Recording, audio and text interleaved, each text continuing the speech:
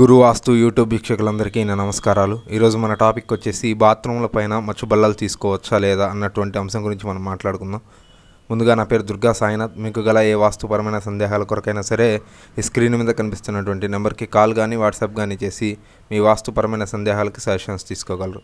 టాపిక్లోకి వెళ్ళిపోతే ఇవాళ రోజులు మనం రెగ్యులర్గా గమనిస్తున్నటువంటి అంశం ఏంటంటే బాత్రూముల పైన మచ్చు బల్లలు తీసుకొని స్టోరేజ్కి యూస్ చేస్తున్నారు.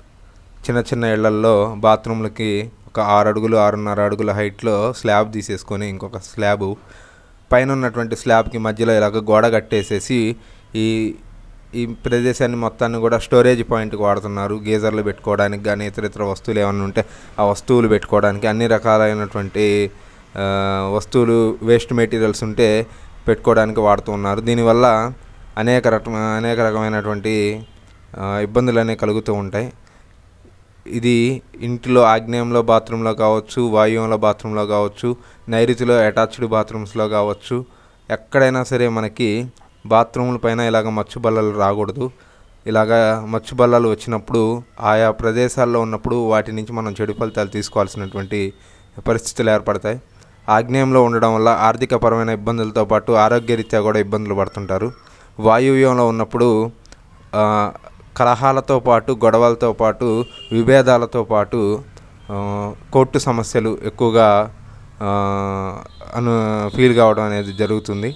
తర్వాత నైరుతిలో ఉన్నప్పుడు మాత్రం రిలేషన్షిప్లో ప్రాబ్లమ్స్ ఫేస్ చేయాల్సి వస్తుంది.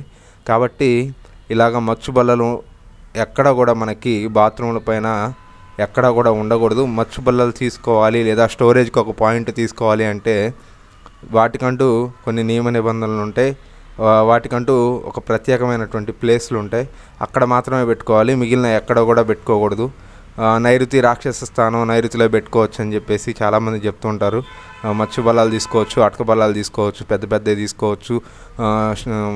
గదులు పెద్ద పెద్ద గదులు కట్టేసుకొని వేస్ట్ మెటీరియల్స్ మొత్తం వేస్తుంటారు నైరుతిలో. అలాగా నైరుతిలో ఇటువంటి పనులనే మనం చేయకూడదు. నైరుతి ఎప్పుడైనా సరే మనకి మూడు రకమైన మూడు రకాలైనటువంటి అంశాల మీద ఆధారపడి ఉంటుంది. ఒకటి ఫ్యామిలీ అండ్ రిలేషన్ తర్వాత స్కిల్స్ అండ్ డెవలప్మెంట్ ఇంకోటి వచ్చేసి కెరియర్ అండ్ ఎడ్యుకేషన్. ఈ అంశాలన్నీ కూడా మనకి నైరుతిలో ఉంటాయి. కాబట్టి నైరుతిలో ఎప్పుడైతే మీరు వేస్ట్ మెటీరియల్స్ వాడతారో వేస్ట్ రూమ్స్ వాడతారో వీటన్నిటికి సంబంధించి మనకి ఇబ్బందులు అనేవి తలెత్తుతూ ఉంటాయి.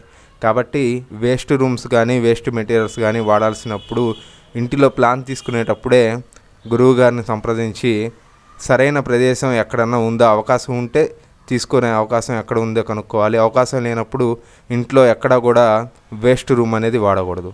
వేస్ట్ రూమ్ వాడకుండా ఉండడం వల్ల ఎటువంటి చెడు ఫలితాలు మనం పొందకుండా ఉంటాం. తద్వారా మనకి అంతా మంచిగా జరుగుతుంది. Thank you thank you for watching.